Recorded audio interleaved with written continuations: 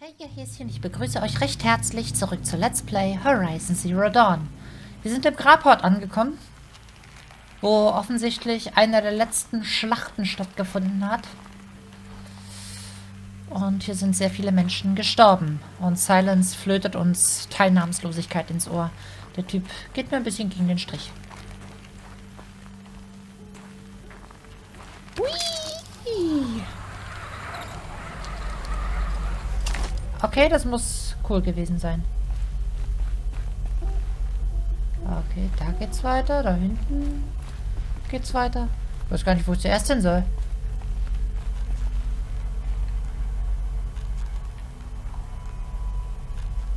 Das da kann ich eh nicht mitnehmen.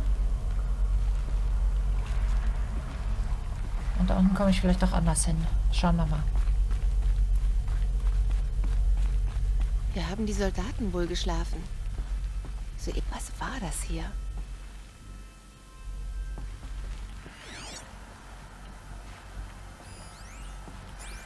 Abberufene, ich erinnere euch an Artikel 115 der Basisrichtlinie. Die unerlaubte Nutzung der Prozessorzyklen. Insbesondere an 115c. Verboten ist jede holographische Simulation, die nicht direkt der Ausbildung dient. Ihr seid erinnert. Und viel Spaß beim Spielen.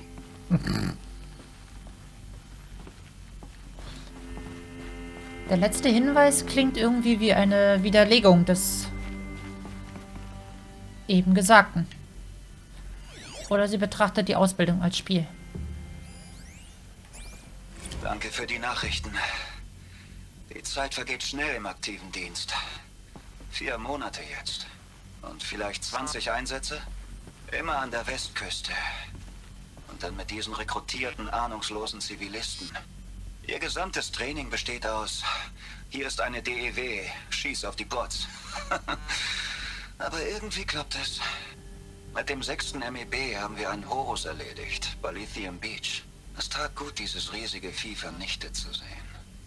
Ich hoffe, es kam in den Nachrichten, Schatz. Damit alle wissen, dass wir es schaffen können. Wir müssen Projekt Zero Dawn nur Zeit geben. Dann wird bald alles wieder wie früher sein.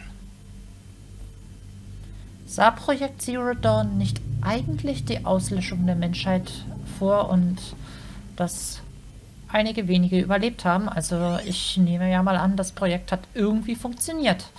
Und hier sehen wir die Überreste der Menschheit und sie wisst von nichts mehr. Schatz, tut mir leid, dass ich mich erst nach Tagen wieder melde. Die Einsätze werden länger und immer härter. Der Schwarm kann uns jetzt besser einschätzen. Wir sind jetzt weniger und die Arbeit wird für uns Verbleibende nur noch mehr. In einem Familienunternehmen, aber es ist nicht meine Familie. Nicht ohne dich. Ich versuche dich und unser früheres Leben aus der Sicht von außen zu betrachten.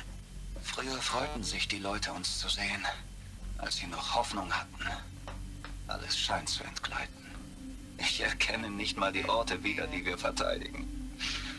Ich kämpfe nur noch für eine Sache. Nämlich für dich. Für Zero Dawn, um das hier abzuwenden, was immer es ist. Hm. Die Möbel waren aus Metall? Wie soll man es sich da gemütlich machen? Mit Das war die Kissen. Metallwelt. Sie waren vermutlich daran gewöhnt. Ja. Und so bekommt man ein verzerrtes Weltbild. Okay, hier könnte ich jetzt theoretisch runterrutschen.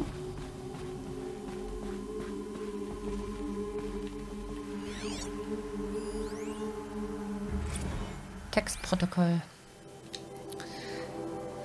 Quests. Eigentlich schien 64 ein ziemlich lange, äh, ein ziemlich gutes Jahr zu werden. Kein Trinken mehr und keine Söldnerjobs. Die Arbeit in den, äh, in den Offshore-Windparks, nur ich und ein Plasmaschneider, 100 Meter über dem Meer. Und dann die Rückberufung. Ich las sie auf einer Turbine. Es roch nach Ozon. Sie boten einfach alles. Bessere Bezahlung, Amnestie für irgendwelche Kriegstaten, Staatsbürgerschaft. Man hätte fragen sollen, wo der Haken ist. Aber wir dachten nur, hey, wir sind doch, äh, wir sind also doch besser als die Roboter. Und Harris Rede über Stolz und Pflicht, kluger Kopf. Er hatte recht. Ich war stolz, US-Soldatin zu, äh, zu sein. Und ich wollte wieder eine werden. Und das kam dabei raus.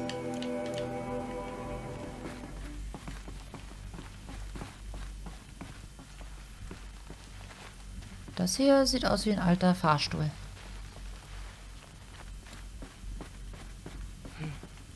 Nur ein Bett. Vielleicht das Zimmer ihres Kriegsherrn. Ich finde es interessant, was sie so für eine Vorstellung der alten Welt hat. Also unserer Welt. In ein paar Jahrzehnten. Gestern sprachen wir über den D-Day 55. Ich war noch ein Kind, frisch aus dem Ausbildungscamp. Die Versammlung in einem Drohnenhangar. Es war Sommer und die Hitze mörderisch. Sie sagt, die menschlichen US-Kampftruppen würden aufgelöst. Alles wird automatisiert. Wir sind nicht mehr modern genug. Eine, Mil eine Million Arbeitslose. Bei einer Jahrhundertrezession. Manche haben die Roboter gebaut, die ihren Job kriegten. Und wer mit einem Exoskelett umgehen konnte, hatte eventuell Chancen auf einen Arbeitsplatz. Vielleicht in der OWZ oder in China. Schön weit weg. Geringes Selbstmordrisiko stand auf der Entlassung.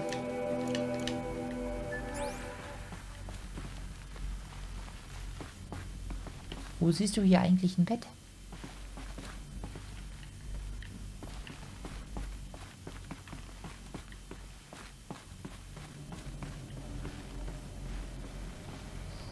Ah, Geronimo.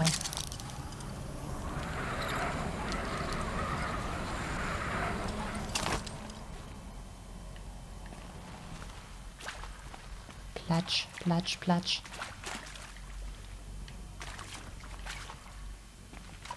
Schon traurig, was so von der Menschheit noch übrig ist. Ich laufe mal ein paar Schritte zurück. Ja, okay. Gibt es hier noch irgendwas, was man sehen könnte, was sich lohnt? Rotes Licht. Das heißt wohl kein Strom. Bunkertür, Brandschutztür verstärkt, Verschluss, Integrität erhalten. Moment. Die ist da oben. Komme ich hier zu Fuß wieder hoch?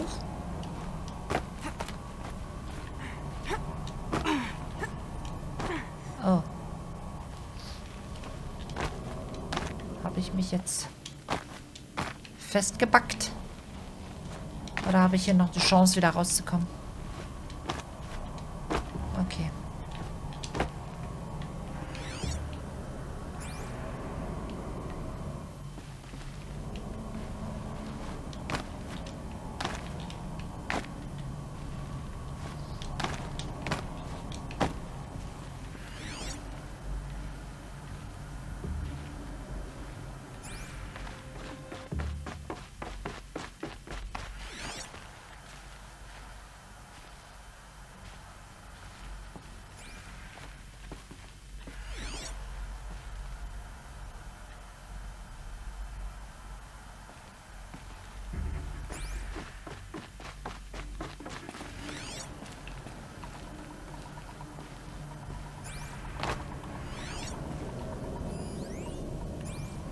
Okay.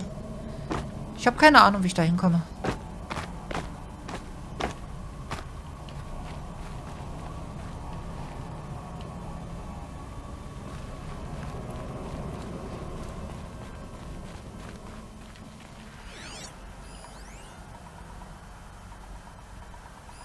Diese Drähte führen wohl zur Stromquelle.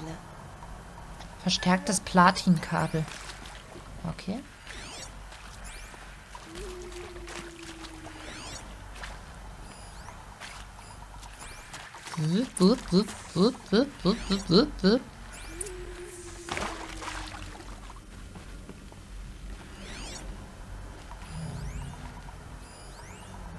Holoschloss, elektromagnetischer Sicherheitsmechanismus mit holographischem Standard-UI. Interface nicht verfügbar. Manchmal verklicke ich mich, wenn ich versuche, aus der Scanner-Sicht wieder rauszukommen.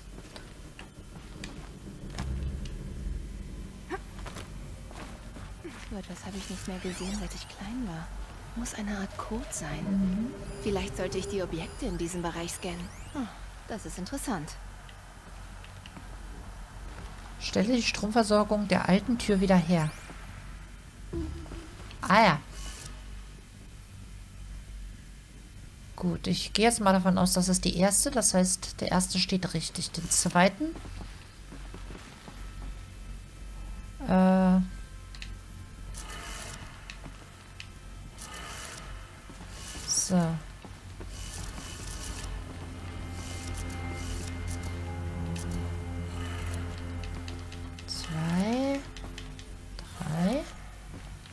Letzte ist da lang ausgerichtet. Drei Leitungen, drei Quellen. Das Energie. ergibt eine.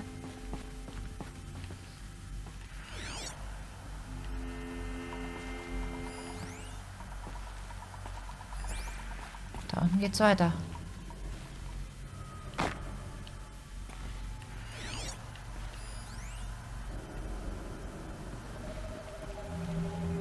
Oben, oben, unten, unten.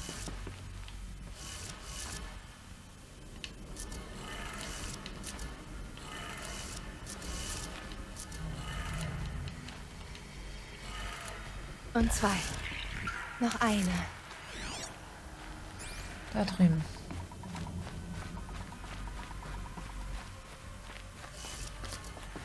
Und ein Audioprotokoll. Hey, ihr habt gefragt, wie ich mir den Geothermosystem-Neustart merke? Das geht so. Vögel suchen im Sommer den Norden, Osten im Frühling, Westen im Herbst, Süden im Winter. Tja, Poesie hättet ihr von Mike, dem GT-Techniker, nicht erwartet, was? Ich bin halt was ganz Besonderes. Okay, das ist dann wohl ein Hinweis darauf, dass man das darauf nicht lesen kann. So, Norden. Warte mal. Ich spiel's nochmal ab. Hey, ihr habt gefragt, wie ich mir den Geothermosystem-Neustart merke? Das geht so. Vögel suchen im Sommer den Norden, Osten im Frühling, Westen im Herbst, Süden im Winter. Tja, Poesie hättet ihr von Mike, dem GT-Techniker, nicht erwartet, was? Ich bin halt was ganz Besonderes.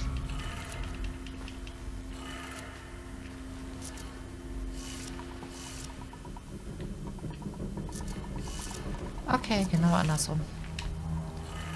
Also, Norden.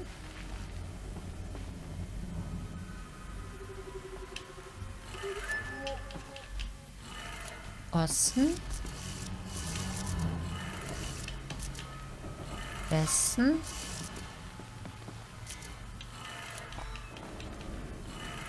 Süden. Das war's. Klingt zumindest so. Energie.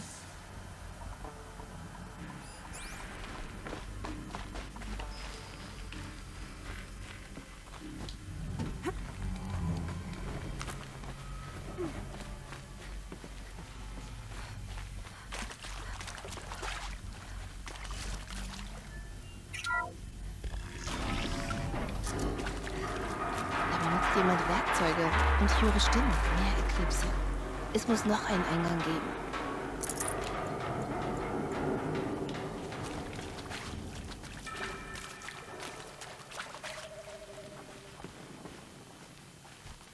Sie sind es tatsächlich. Sie suchen keine Antworten, nur Waffen.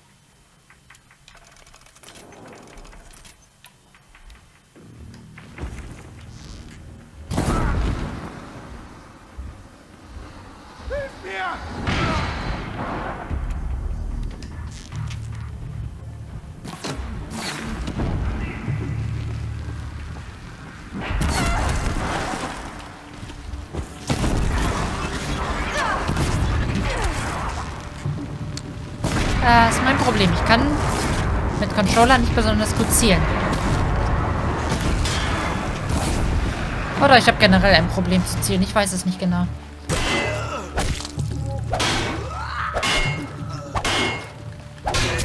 Aua!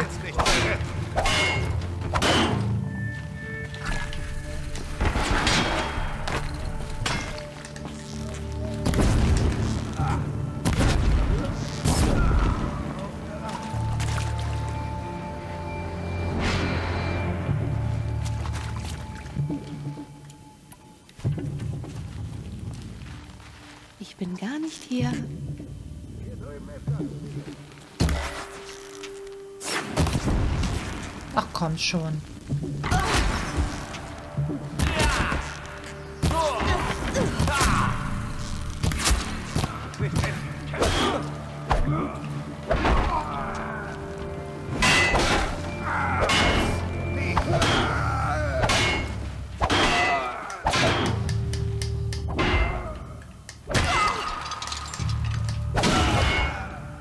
Ciao.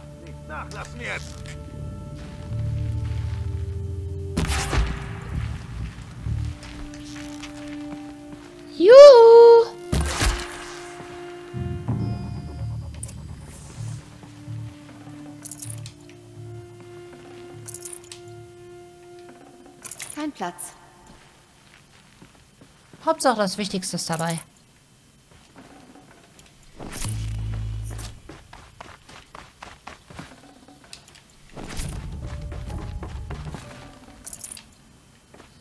Hier gibt es viel zu entdecken.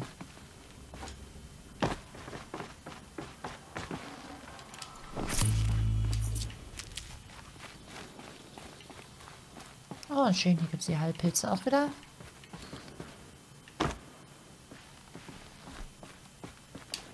Man kann nie wissen, wann man das mal braucht. Ja, ja. Hast du schon recht.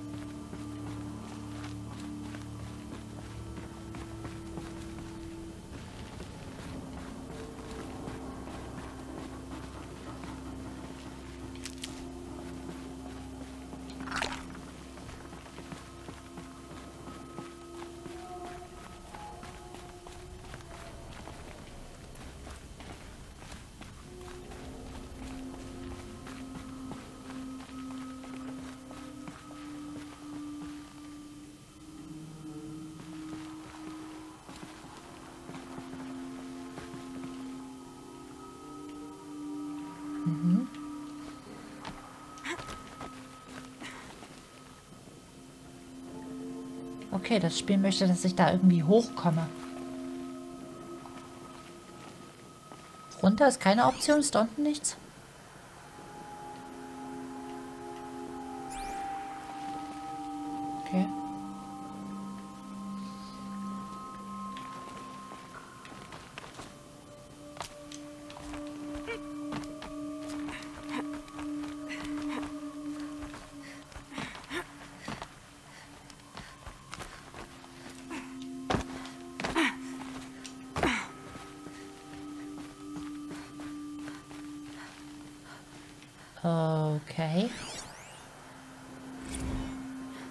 Danke für die Nachrichten. Die Zeit vergeht schnell im aktiven Dienst. Vier Monate sind es jetzt schon. Mit diesen neuen, ahnungslosen Rekrutierten. Wilde Typen. Aber irgendwie klappt es. Mit dem sechsten MEB haben wir einen Horus erledigt.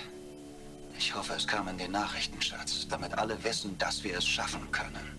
Wir müssen Projekt Zero Dawn nur Zeit geben.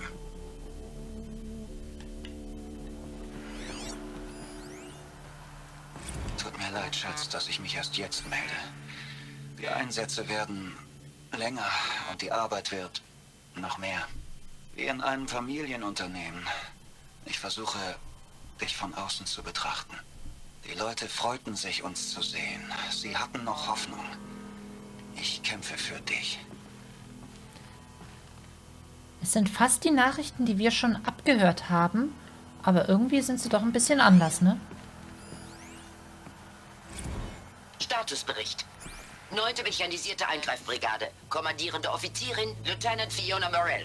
Die Truppenmoral wird weiterhin von den Gefechten gegen die Pharaoh-Plage ungünstig beeinflusst.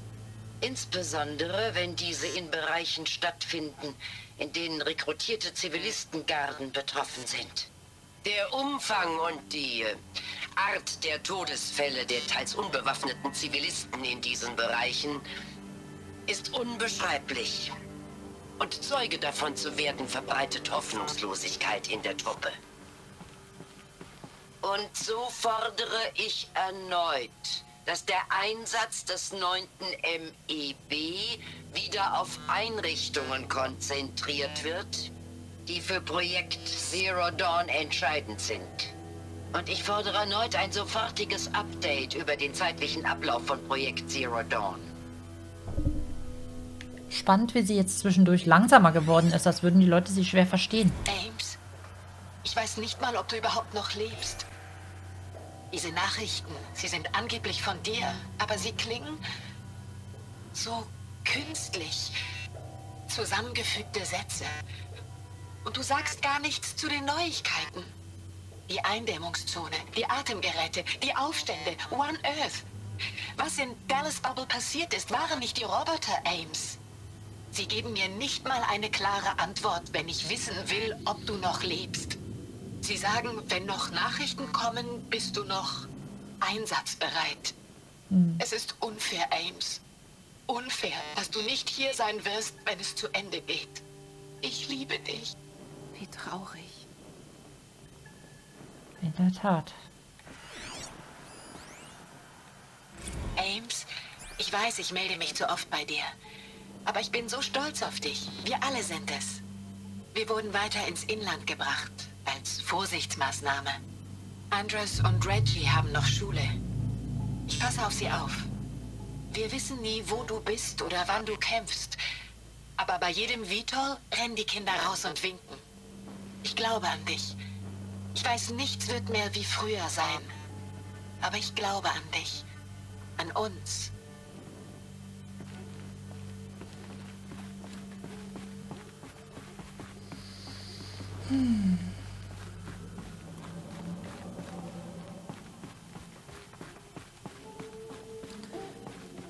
Kann mir nicht vorstellen, dass das eine besonders schöne Welt ist, die da zu Ende gegangen ist. So, das sieht aus wie, jetzt müsste ich damit gleich interagieren. Ich höre mir erstmal diese Datenpunkte an oder ich lese sie euch vor. Dezember 2065, Woche 1, vertraulich. Operation Kickback. Reno, Nevada. Die Zivilistengarde und Panzerbataillone lieferten sich Gefechte mit Gardeeinheiten des PN-12-Schwarms im pazifischen Nordwesten. Einsatzbeginn um 6 Uhr. Einsatzwende nach Rückzug um 21 Uhr am folgenden Tag. Laut Bericht Verluste von über 40 Prozent. Operation Thick Skull. Shenandoah Valley. S-ATAC. Virginia. Die 12. MEB, unterstützt von der Zivilistengarde, lieferte sich ein Nachhut, äh, Nachhutgefecht mit, Ostküst, äh, mit dem Ostküstenschwarm ES-17. Einsatzbeginn um 8 Uhr. Gegen 14 Uhr meldete die 12. MEB die Eroberung ihrer Stellung und hielt die Autorisierung zur Sprengung der SA-Tech-Anlage. Äh, SA-Tech-Anlage. ES-17 wurde dabei schwer äh, geschädigt. Rückzug der Überlebenden der 12. MEB zur Akron Cleveland Verteidigungslinie. Operation Body Blow. Akron, Ohio. Die, die 9. und 10. MEB bekämpfte, unterstützt von anhaltenden Luftangriffen, den Horus-Klasse Titan, der den Ostküstenschwarm ES-18 versorgte. Einsatzbeginn um 4 Uhr, Einsatzende durch Vernichtung des Titan um 4, äh, 22 Uhr. Zu beachten ist, dass dies die dritte Titanvernichtung der 9. MEB mit nur minimalen Verlusten darstellt.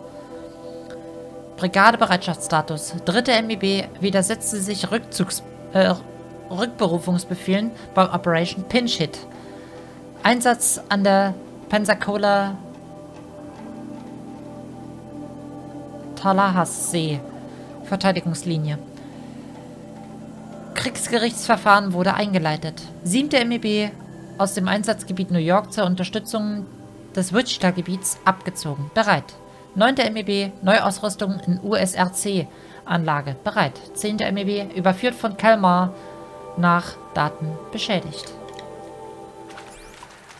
Ist nicht mal ganz einfach, diese Texte zu lesen, weil sie mit vielen Fachbegriffen und Abkürzungen um sich werfen. Deswegen äh, bitte ich es mir nachzusehen, wenn ich nicht immer alles hundertprozentig korrekt vorlese. Mehr kann ich nicht tragen. Oder nicht besonders flüssig.